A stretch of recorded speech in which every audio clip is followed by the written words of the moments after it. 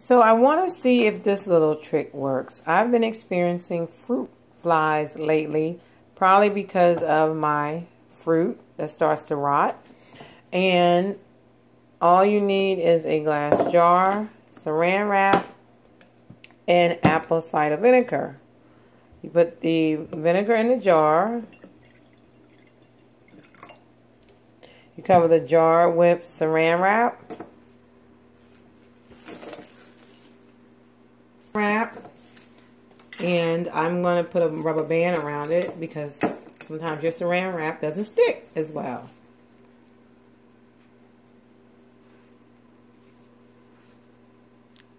Then you punch a few holes in, big enough for them to get in, and you leave it overnight, I would say.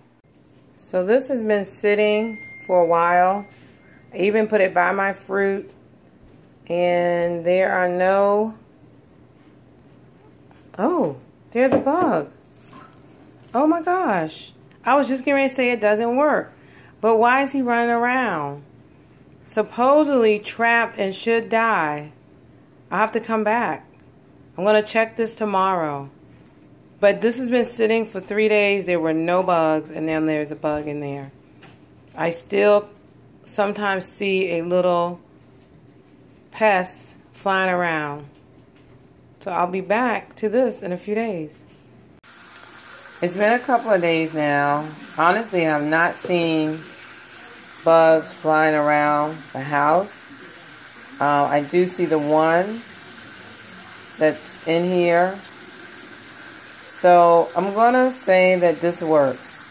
A jar, apple cider vinegar or cider vinegar, couple of holes on punch into the saran wrap and let it sit.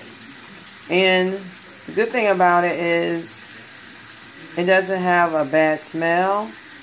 So I'm thinking, and I'm not seeing any bugs anymore, but I'm just going to let this sit for a long time. You know, unless someone comes in my house and says, oh, what's that smell? So yes, it works.